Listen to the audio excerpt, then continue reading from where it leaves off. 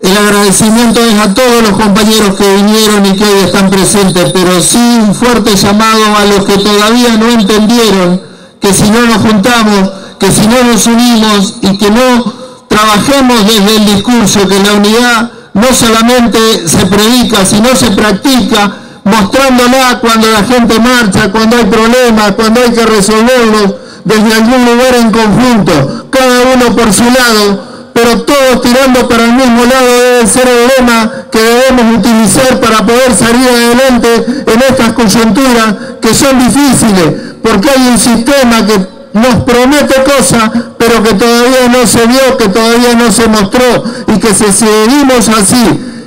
la industria nacional se va a destruir y si, se destruye la industria nacional entonces va a pasar lo que decía Fulvio, los comercios no van a poder trabajar y las escuelas no van a poder contener a los chicos porque un chico con hambre, lo dije una vez, no puede razonar igual que el otro. Entonces de eso es lo que tenemos que hablar, de eso es lo que tenemos que meternos nosotros en la cabeza y ser transmisores, todos los que estamos aquí a partir de ahora tenemos una responsabilidad muy grande, llevarle este mensaje al resto, tenemos que ser los multiplicadores para que todos entiendan y que en la próxima convocatoria, más allá del clima que hoy nos jugó una mala pasada, podamos ser mucho más y reventar esta plaza como corresponde. No por el hecho de venir a una plaza, juntarnos y hacer discurso, sino por lo que significan estos actos, que es la defensa de los puestos de trabajo, como lo venimos diciendo y como lo venimos practicando y haciendo.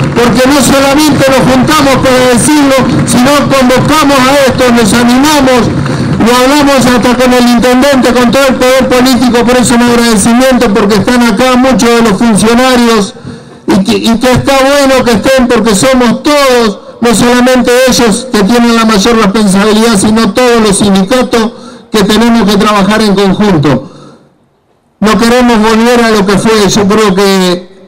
está casi todo dicho, siempre hay algo más interesante para decir, pero no queremos que nos vuelva a pasar lo que ya alguna vez vivimos, que en el país del trigo y de las vacas no podamos comprar un puto kilo de pan, un puto kilo de carne, compañero. Y esto es lo que nos tenemos que hacer carne y meternos adentro. Muchas gracias por venir, muchas gracias por estar. Gracias a toda la intersindical que ha trabajado mucho para esto, ha trabajado mucho para que esto sea posible. ¿Qué sindicato? Ah, están los compañeros de comercio de Rosario, sindicato de pescadores también. Muchas gracias a todos los compañeros de Paraná Metal, que por lo que se sigue trabajando fuertemente para ver si encontramos alguna posibilidad de que esa planta pueda volver a ser reabierta. Gracias por estar, sigamos el camino, este es el camino de la lucha, compañeros. Muchas gracias a todos que están acá. Sí, antes de retirarnos, los invitamos a todos a cantar el himno nacional, compañeras, compañeros. Muchas gracias.